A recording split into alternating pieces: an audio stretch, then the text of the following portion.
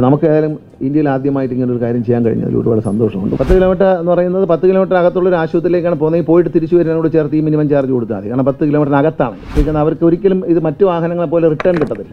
ഇപ്പോൾ ടാക്സി പോയാലും ഓട്ടോറിക്ഷ പോയാലും ഒക്കെ നമുക്ക് റിട്ടേൺ കിട്ടും. അവർ കിട്ടില്ല. രണ്ട് രൂപ വെച്ച് കുറവ് ചെയ്യും.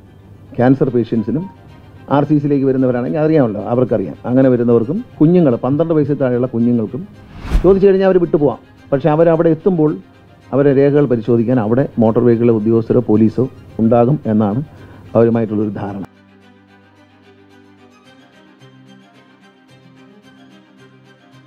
നമസ്കാരം. ആംബുലൻസ് റേറ്റിന്റെ ഏകീകരണവുമായി ബന്ധപ്പെട്ട് ഗതാഗത മന്ത്രി ഗണേഷ് കുമാർ നിർണായകമായ തീരുമാനം ഇപ്പോൾ എടുത്തിരിക്കുകയാണ്. ഇതുമായി ബന്ധപ്പെട്ട് ഇപ്പോൾ മന്ത്രി തന്നെ ഇപ്പോൾ മാധ്യമങ്ങളെ കാണുകയാണ് അദ്ദേഹത്തിന്റെ വാക്കുകളിലേക്ക്. ഇന്ത്യയിൽ ആദ്യമായി ഒരു സംസ്ഥാനം കേരളം ആദ്യമായിട്ട് ആംബുലൻസുകൾക്ക് ഒരു താരിഫ് ഏർപ്പെടുത്തുകയാണ്. ആ താരിഫ് എന്ന് പറയുമ്പോൾ ആംബുലൻസിന് ഇപ്പോൾ നിലവിൽ എത്ര രൂപയാണ് മിനിമം ചാർജ് എന്നോ അങ്ങനെയുള്ള ടാക്സിക്കും മറ്റു വാഹനങ്ങൾക്കുള്ളതുപോലെ ഒരു താരിഫ് ഇല്ല ആംബുലൻസ് ഉടമകളുടെയും തൊഴിലാളികളുടെയും സംഘടനകളുമായി ഞങ്ങളിപ്പോൾ ചർച്ച ചെയ്തു. ചർച്ചയിൽ തീരുമാനമാവുകയും കഴിഞ്ഞ കുറേ ദിവസമായിട്ട് ട്രാൻസ്പോർട്ട് കമ്മീഷനും ട്രാൻസ്പോർട്ട് അഡീഷണൽ കമ്മീഷനും എല്ലാവരും വളരെയധികം ചർച്ചകൾ പല ഘട്ടങ്ങളായി നടത്തി. ഇന്ന് ഞാനുമായി നടത്തിയതാണ് അതിലൊരു ധാരണയായിട്ടുണ്ട് പല കാറ്റഗറിയിലുള്ള ആംബുലൻസുകൾക്ക് റേറ്റ് തീരുമാനിക്കണം. Minimum rate kilometre rate. അതോടൊപ്പം തന്നെ ലഭിക്കാവുന്ന ആനുകൂല്യങ്ങൾ. അവരെ സംബന്ധിച്ചിട്ടുള്ളത് ആനുകൂല്യം ഞാൻ ആദ്യം റേറ്റുകൾ ആദ്യം ഒന്ന് പറയാം. ഡി ലെവൽ ആംബുലൻസ് എന്ന് പറയുമ്പോൾ ഐ സി ഉള്ള എയർ കണ്ടീഷനുള്ള ആംബുലൻസ്. അതിന് മിനിമം ചാർജ്. മിനിമം ചാർജ് പത്ത് കിലോമീറ്റർ പോയി കഴിഞ്ഞാൽ മറ്റു വണ്ടികളെ പോലും റിട്ടേൺ കിട്ടത്തില്ല. തിരിച്ച്. അതുകൊണ്ട് പത്ത് കിലോമീറ്റർ അങ്ങോട്ട് തിരിച്ച് പത്ത് കിലോമീറ്റർ കണക്കായിക്കൊണ്ട് പത്ത് കിലോമീറ്ററിനുള്ളിലാണെന്നുണ്ടെങ്കിൽ മിനിമം ചാർജ് രണ്ടായിരത്തി അഞ്ഞൂറ് രൂപയാണ്. ആ മിനിമം ചാർജ് കഴിഞ്ഞാൽ അഡീഷണൽ കിലോമീറ്ററിന് അമ്പത് രൂപ വെച്ചാണ്. വെന്റിലേറ്ററുള്ള ഏറ്റവും ഹയസ്റ്റ് ഹയർ ഗ്രൂപ്പിൽപ്പെട്ട വണ്ടിയാണ്. ഏറ്റവും ഹൈ എൻഡ് വണ്ടിയാണ്. വെന്റിലേറ്റർ ഉണ്ട്. അതിൽ എയർ കണ്ടീഷൻ ഉണ്ടാവും. മറ്റെല്ലാ സൗകര്യങ്ങളും ഉണ്ടാവും ടെക്നീഷ്യൻ ഉണ്ടാവും. അതിലൊരു ഡോക്ടറോ നേഴ്സ് അങ്ങനെ അറ്റൻഡ് അറ്റൻഡ് ചെയ്യാൻ ടെക്നീഷ്യൻ ഉണ്ടാവും. ഡോക്ടർ ഉണ്ടാവും. അത് അവർ തന്നെ പ്രൊവൈഡ് ചെയ്യുന്നതാണ്. ആ അത്തരം വണ്ടികൾക്ക് മിനിമം ചാർജ് പത്ത് കിലോമീറ്ററിന് രണ്ടായിരത്തി അഞ്ഞൂറാണ് പത്ത് കിലോമീറ്റർ എന്ന് പറഞ്ഞാൽ തിരിച്ചുകൂടെ ചേർത്തിട്ടാണ്. വെയിറ്റിംഗ് ചാർജ് ഓരോ മണിക്കൂറിനും അതായത് ആദ്യത്തെ ഒരു മണിക്കൂർ കഴിഞ്ഞപ്പോൾ ഒരു മെഡിക്കൽ കോളേജിലേക്ക് ഒരു പേഷ്യന്റിനെ കൊണ്ടുവന്നു. അപ്പോൾ ആ പേഷ്യന്റിനെ അവിടെ കൊണ്ടുവന്ന് അഡ്മിറ്റ് ചെയ്യുന്ന സമയം വെന്റിലേറ്ററിലേക്ക് കയറ്റാൻ ശ്രമിക്കുന്ന ഒരു സമയം ഒരു മണിക്കൂർ ഒരു മണിക്കൂറിന് കഴിഞ്ഞാൽ ഓരോ ആ ഓരോ പിന്നുള്ള ഓരോ മണിക്കൂറിനും മുന്നൂ ഇരുന്നൂറ്റി അമ്പത് രൂപ. മുന്നൂറ്റമ്പത് രൂപ വെച്ചാണ് കൊടുക്കേണ്ടത്. ഈ വെന്റിലേറ്ററിൽ ആംബുലൻസ് ഒരു മണിക്കൂറോളം ആശുപത്രി ഒന്ന് വെയിറ്റ് കഴിഞ്ഞ് പിന്നെ ആ ഒരു മണിക്കൂർ കഴിഞ്ഞുള്ള ഓരോ അവറിനും മുന്നൂറ്റമ്പത് രൂപ വെച്ച് കൊടുക്കണം. അടുത്തത് സി ലെവൽ വണ്ടിയാണ് അത് ഈ ട്രാവലർ ഷേപ്പിലുള്ള എയർ കണ്ടീഷൻ ചെയ്ത ആംബുലൻസ് അതിൽ ഓക്സിജൻ ഉണ്ടാവും. മറ്റ് വെന്റിലേറ്റർ സൗകര്യങ്ങളൊന്നുമില്ല. അതിന്റെ മിനിമം ചാർജ് എന്ന് പറയുന്നത് ഈ ടെൻ പ്ലസ് ടെൻ തന്നെയാണ്. അതിന് ആയിരത്തി അഞ്ഞൂറ് രൂപയാണ് വെച്ചിരിക്കുന്നത് അതിന്റെ മിനിമം ചാർജ് അതുപോലെ അതിന് വെയിറ്റിംഗ് ചാർജ് ഇതുപോലെ ഹോസ്പിറ്റലിൽ വന്ന് അവിടെ വെയിറ്റ് ചെയ്യേണ്ടി വന്നാൽ ഇരുന്നൂറ് രൂപ പെർ അവറാണ് ആദ്യത്തെ ഒരു മണിക്കൂർ കഴിഞ്ഞാൽ രണ്ടാമത്തെ മണിക്കൂർ തൊട്ട് ഇരുന്നൂറ് രൂപ വെച്ച് ചാർജ് ചെയ്യും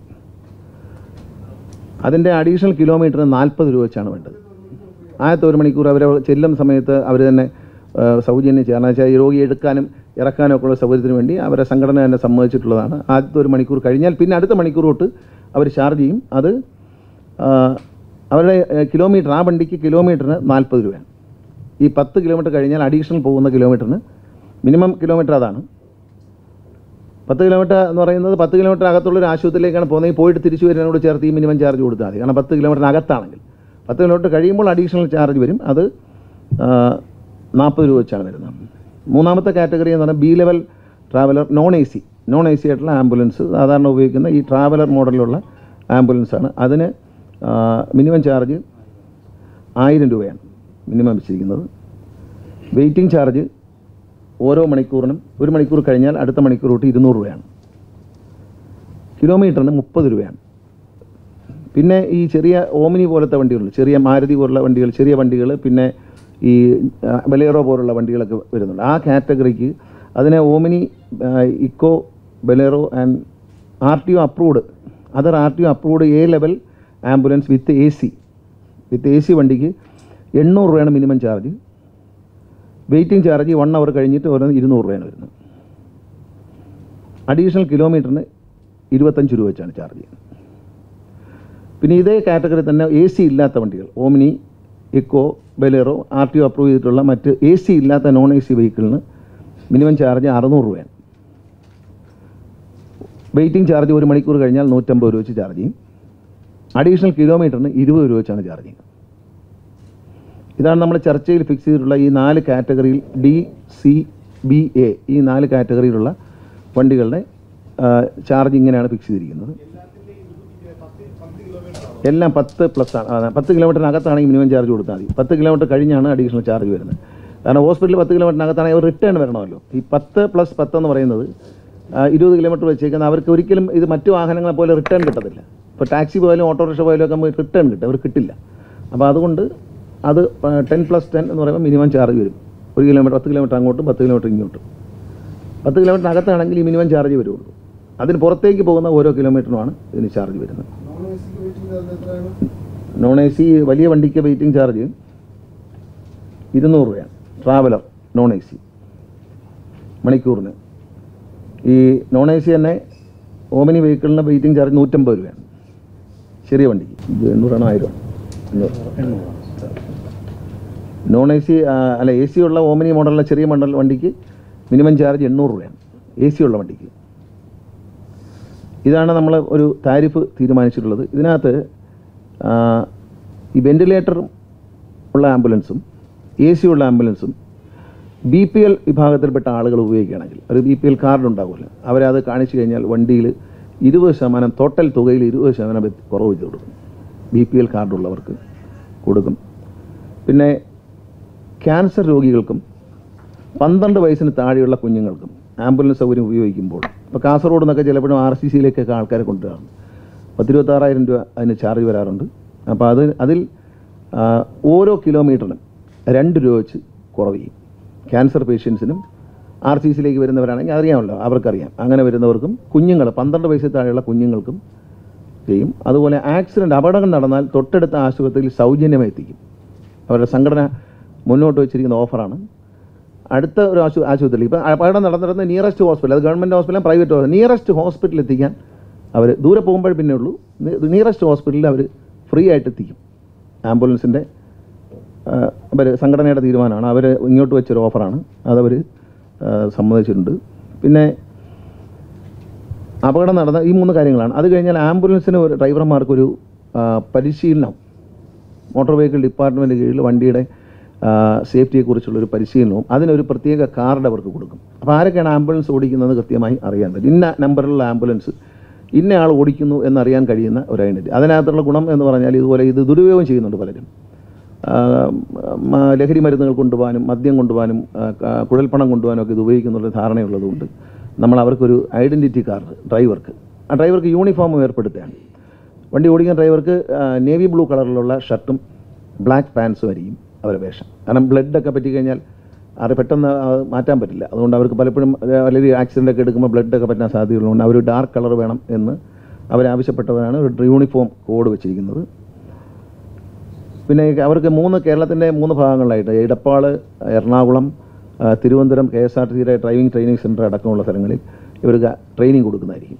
ഒരു രണ്ടോ മൂന്നോ ദിവസം നീണ്ടു നിൽക്കുന്ന ട്രെയിനിങ് നേരത്തെയൊക്കെ കൊടുത്തിരുന്നത് ട്രെയിനിങ് ഉണ്ടായിരുന്നു. പക്ഷേ തിയറിയാണ് എല്ലാം പ്രാക്ടിക്കലോട് കൂടിയ ഒരു ഒരു ട്രെയിനിങ് ആയിരിക്കും നമ്മൾ കൊടുക്കാൻ ഉദ്ദേശിക്കുന്നത്.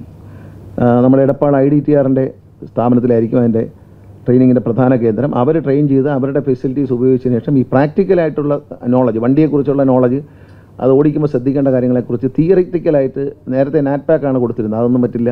തിയ നമ്മൾ വളരെ പ്രാക്ടിക്കലായിട്ടുള്ളൊരു ട്രെയിനിങ് കൊടുക്കാനാണ് തീരുമാനിച്ചിരിക്കുന്നത്.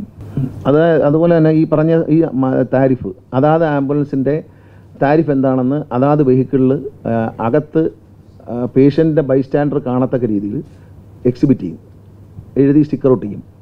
അതായത് ഈ പർട്ടിക്കുലർ വണ്ടി നമ്മൾ ഉപയോഗിക്കുന്ന ആംബുലൻസിന്റെ വാടക സർക്കാരുമായി ധാരണയിലെത്തി നിശ്ചയിച്ചിട്ടുള്ള താരിഫ് അവിടെ എഴുതി കാണിക്കും. അപ്പം ഈ ബൈസ്റ്റാൻഡർ കൂടെ വരുന്ന ആളുകൾക്ക് അത് അറിയാൻ പറ്റും. അപ്പോൾ ഒരു ചൂഷണം ഉണ്ടാവാതെ ചെയ്യാൻ കഴിയും എന്നുള്ളതുകൊണ്ടാണ് അത്തരത്തിലൊരു കാര്യം ചെയ്യുന്നത്. അതിന് നമ്മൾ ഒരു അതിലെന്തെങ്കിലും ഈ പറഞ്ഞ രേഖകളിൽ എന്തെങ്കിലും ഒരു തെറ്റ് തെറ്റ് കാണിക്കുകയോ ആംബുലൻസിനെ പറ്റി പരാതി ഉണ്ടെങ്കിലോ അത് അയക്കാൻ വേണ്ടി ട്രാൻസ്പോർട്ട് കമ്മീഷണറുടെ ഓഫീസിലേക്ക് വരത്തക്ക രീതിയിൽ രണ്ട് ദിവസം ഒരു വാട്സാപ്പ് നമ്പർ. ഇപ്പോൾ ഒരു വാട്സാപ്പ് നമ്പർ ഉണ്ട്.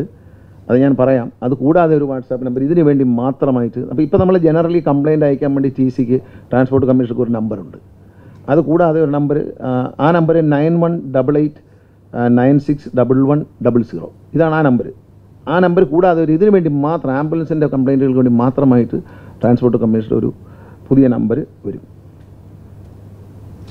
പിന്നെ ആ പിന്നെ ഇതിന്റെ ആംബുലൻസ് പോകുന്ന വഴിക്കുള്ള അത് ഓടിക്കുന്നത് അവരിവിടെ പോയി എവിടെ വന്നു എന്നൊക്കെ ഉള്ള ഒരു ലോഗ് ബുക്ക് വണ്ടിയിൽ തന്നെ സൂക്ഷിക്കാനായിട്ട് തീരുമാനിച്ചിട്ടുണ്ട്. ആംബുലൻസുകളെ പരിശോധനയ്ക്ക് വിധേയമാക്കും. കാരണം വെച്ചാൽ ആംബുലൻസ് പല പാൻ ലൈറ്റൊക്കെ ഇട്ട് പോവുകയാണ്. പക്ഷേ അവിടെ ഒരിക്കലും വണ്ടി തടഞ്ഞിടില്ല. പക്ഷേ അവരോട് തടഞ്ഞ് എവിടെയാണ് പോകുന്നതെന്ന് ചോദിക്കും. ജസ്റ്റ് ഒരു സെക്കൻഡ് കൊണ്ട് എവിടെയാണ് ഏത് ഹോസ്പിറ്റലിലേക്കാണ് പോകണമെന്ന് ചോദിച്ചിട്ട് ആ സ്ഥലത്തെ ആർ ടി ഒയും അവിടുത്തെ പോലീസിനെയും അറിയിക്കുക വണ്ടി അവിടെ വന്നോ എന്ന് റാൻഡം പരിശോധനയാണ്. വണ്ടി അവിടെ സംശയം തോന്നുന്ന വണ്ടികളിലേ ഉള്ളൂ. എല്ലാ വണ്ടിക്കൊന്നുമില്ല. ഒരു വണ്ടി വല്ലാതെ പോകുന്ന നിർത്ത ഒരു സെക്കൻഡ് സ്റ്റോപ്പ് ചെയ്തിട്ട് എവിടെയാണ് ഏത് ഹോസ്പിറ്റലിലേക്കാണ് രോഗിയെ കൊണ്ടുപോകുന്നതെന്ന് ചോദിക്കും. ചോദിച്ചു കഴിഞ്ഞാൽ അവർ വിട്ടു പോവാം പക്ഷേ അവർ അവിടെ എത്തുമ്പോൾ അവരെ രേഖകൾ പരിശോധിക്കാൻ അവിടെ മോട്ടോർ വെഹിക്കിളിലെ ഉദ്യോഗസ്ഥരോ പോലീസോ ഉണ്ടാകും എന്നാണ് അവരുമായിട്ടുള്ളൊരു ധാരണ. അത് മിസ്യൂസ് ചെയ്യുന്നതിനെപ്പറ്റി അവരുടെ സംഘടനയ്ക്കോ അവരുടെ തൊഴിലാളികളുടെ സംഘടനയ്ക്കോ ഉടമസ്ഥരുടെ സംഘടനയ്ക്കോ ഒന്നും കൂടുതലും ആളുകളും ഓടിക്കുന്നവർ തന്നെയാണ് അതിന്റെ ഉടമസ്ഥർ അപ്പോൾ അവർക്ക് അതിലൊരു അഭിപ്രായ വ്യത്യാസം ഇല്ല. അവർ തന്നെ പറഞ്ഞു മിസ്യൂസ് ചെയ്യാൻ പാടില്ല എന്നുള്ള നിലപാടാണ് അവരുടെ സംഘടനയ്ക്കുണ്ട്. വളരെ പോസിറ്റീവായിട്ടുള്ള ചർച്ചയാണ്. അവരുടെ നന്ദി പറയണം. അവരിവിടെ വന്നിട്ടുണ്ട്. അവരെ വളരെ വളരെ പല സംഘടനകളുമായിട്ട് നമ്മൾ ചർച്ച ചെയ്യുമെങ്കിലും വളരെ പോസിറ്റീവായിട്ട് അവർ ഈ പേഷ്യൻസിനോട് വളരെ കരുണയോടെ കാരണം ക്യാൻസർ രോഗികളെയൊക്കെ ആരോഗ്യവകുപ്പിനെ മുന്നോട്ട് വെച്ച ആരോഗ്യവകുപ്പിലെ ഉദ്യോഗസ്ഥരും ഉണ്ടായിരുന്നു ചർച്ചയിൽ. അപ്പോൾ അവർ മുന്നോട്ട് വെച്ച ആശയമാണ്. കാസർഗോഡ് നിന്നൊക്കെ ഒരു പേഷ്യന്റിനെ തിരുവനന്തപുരത്തുള്ള ആർ സി സിയിൽ നിന്ന് പോകുന്ന ആംബുലൻസുകൾ പതിനെണ്ണായിരം രൂപ വാങ്ങിക്കുമ്പോൾ അവിടെ നിന്ന് വരുന്നവർ ഇരുപത്താറായിരം രൂപയാണ് വാങ്ങിക്കുന്നത്. ആ പേഷ്യൻസിന് രണ്ട് രൂപയുടെ കുറവ് കിട്ടും ഒരു കിലോമീറ്റർ പന്ത്രണ്ട് വയസ്സിൽ താഴെയുള്ള കുഞ്ഞുങ്ങൾക്കും. അപകടം നടന്നാൽ ആ അപകട സ്ഥലത്ത് നിന്ന് നിയറസ്റ്റ് ഹോസ്പിറ്റലിലേക്ക് അത് പ്രൈവറ്റ് ഹോസ്പിറ്റലാണ് ഗവൺമെന്റ് അത് അവർ ഫ്രീ ആയിട്ട് കൊണ്ടുപോകാനാണ് പറയുന്നത്. പിന്നെ ദൂരേക്ക് കൊണ്ടുപോകണമെങ്കിൽ പിന്നെ ചാർജുകൾ ആപ്ലിക്കബിൾ ആകും ഇത്തരം കാര്യങ്ങളാണ് നമ്മൾ തീരുമാനിച്ചിട്ടുള്ളത്. ഇന്ത്യയിൽ ആദ്യമായിട്ടാണ് ഒരു സംസ്ഥാനം ആംബുലൻസുകൾക്ക് താരിഫ് നിശ്ചയിക്കുന്നതും പ്രഖ്യാപിക്കുന്നതും.